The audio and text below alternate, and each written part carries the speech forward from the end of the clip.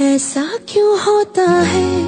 तेरे जाने के बाद लगता है हाथों में रह गए तेरे हाथ। तू शामिल है मेरे हंसने में, रोने में। है क्या कोई कमी मेरे पागल होने में? इश्क तेरा लगे